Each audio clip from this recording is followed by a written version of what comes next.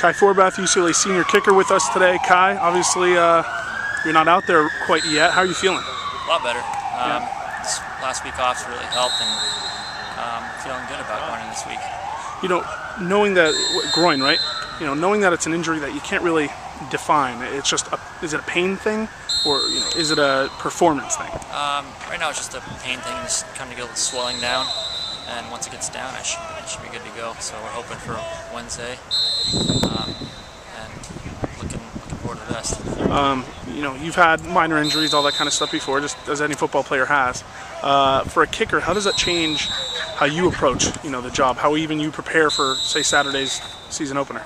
Um, it doesn't really. I got to go out and kick the same way I always do. I can't try to change things um, or, you know, not swing as hard. I got to do everything the same. Um, so it's hopefully it's not battling through pain. Hopefully it feels better by then, and um, it'll feel good the whole season. If there was a game today, could you go? Um, I don't. I mean, sure, yeah. I mean, so so you're saying it's more of a, you know, you just kind of got to work your way back kind of thing. Um, Coach said that you were hoping to kick by Wednesday. Uh, is that going to give you enough time, you think, to kind of get the, you know, maybe the rust off? I think so. You know, what's what's the hardest part for a kicker?